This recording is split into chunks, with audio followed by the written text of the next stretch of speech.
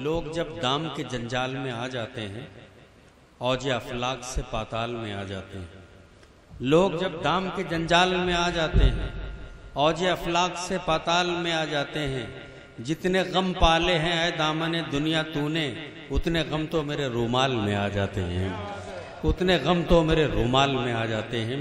हज़रत, ज़िंदगी की आला कदरों को शायरी बनाना जिस नौजवान ने पिछले पाँच सात सालों में शायरी का एक एक ख़ास तबके को मुतासर किया है।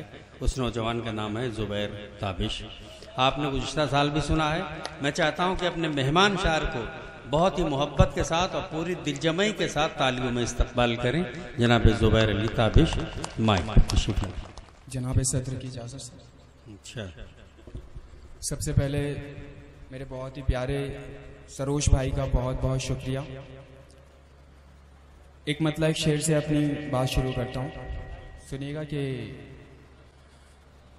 बैठे बैठे एकदम से चौंकाती है।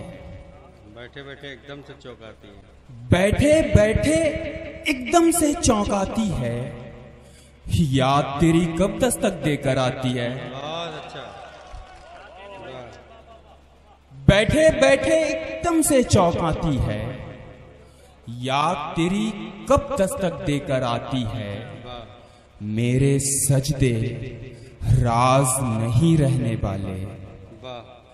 मेरे सजदे राज नहीं रहने वाले, उसकी चौखट माथे को चमकाती है।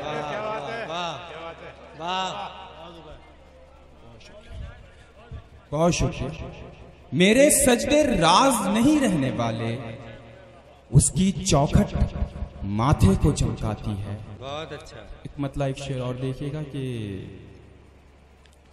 वो तलबगार हो गया तो फिर? वो तलबगार हो गया तो फिर? वो तलबगार हो गया तो फिर? मुझसे इनकार हो गया तो फिर? और कितने मगरूर हो गए मरहम। कितने मगरूर हो गए मरहम। जख्म खुददार हो गया तो फिर? बहुत अच्छा है। वाह वाह। बहुत शुक्रिया। बहुत अच्छे। मतलब सुनिए कि खाली बैठे हो तो एक काम मेरा कर दो ना। खाली बैठे हो तो एक काम मेरा कर दो ना। खाली बैठे हो तो एक काम मेरा कर दो ना। मुझको अच्छा सा कोई जख्म अता कर दो ना। बहुत अच्छा। खाली बैठे हो तो एक काम मेरा कर दो ना। मुझको अच्छा सा कोई जख्म अता कर दो ना। ध्यान से पंछियों को देते हो दाना पानी। ध्यान से पंछियों को देते हो दाना पानी। ध्यान से पंछियों को देते हो दाना पानी इतने अच्छे हो तो पिंजरे से रिहा कर दो ना। वाह बहुत अच्छा। इतने अच्छे हो तो पिंजरे से रिहा कर दो ना। बहुत अच्छा वाह। और जब करीब आ ही गए हो तो तकल्लुफ कैसा? जब करीब आ ही गए हो तो तकल्लुफ कैसा? जब दिया दे ही रहे हो तो जला कर दो ना। एक मतलब और चंद शेर समाज फरमाए कि आईना कब बनाओगी मुझको? आईना कब बनाओगी मुझको? मुझसे किस दिन मिलाओगी मुझको? आईना कब बनाओगी मुझको? मुझसे किस दिन मिलाओगी मुझको? बाद में इम्तिहान भी दे दूँगा। बाद में इम्तिहान भी दे दूँगा। पहले बोलो पढ़ाओगी मुझको? वाह। और अपना कंगन समझ रही हो क्या? घुमाओगी उसको अपना कंगन समझ रही हो क्या? और कितना घुमाओगी मुझको? बहुत अच्छा। अच्छा है बहुत शुक्रिया। एक मतलब और चंद अशार समाज फरमाए क्या जबान का लुत्फ है वाह वाह वाह। देखो इस शेर पे हमारे हमारे बुज़ुर्ग भी खुश हुए हैं। अपना कंगन समझ रही हो क्या? और कितना घुमाओगे और कितना घुमाओगी मुझको?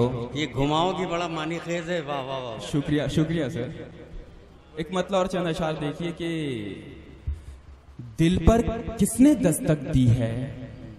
इतना तो कह सकता हूँ।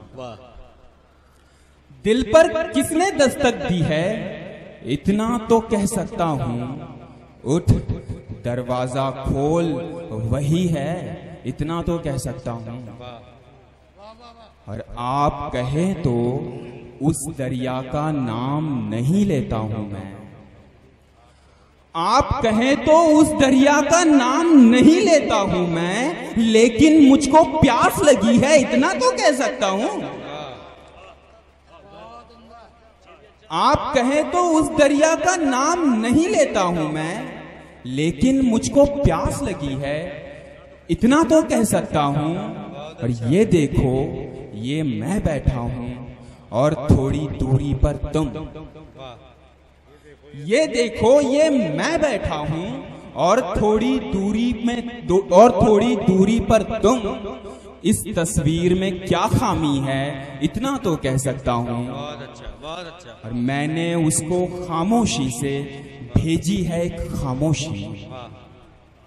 मैंने उसको खामोशी से भेजी है एक खामोशी। इतना तो वो सुन सकती है इतना तो कह सकता हूँ। और मुझको शहर के अंगारों पर कहने की पाबंदी है। मुझको शहर के अंगारों पर कहने की पाबंदी है। मेरे घर में आग लगी है, इतना तो कह सकता हूँ। बहुत अच्छा बहुत अच्छा। बहुत अच्छे जनाब जुबैर अली काबिश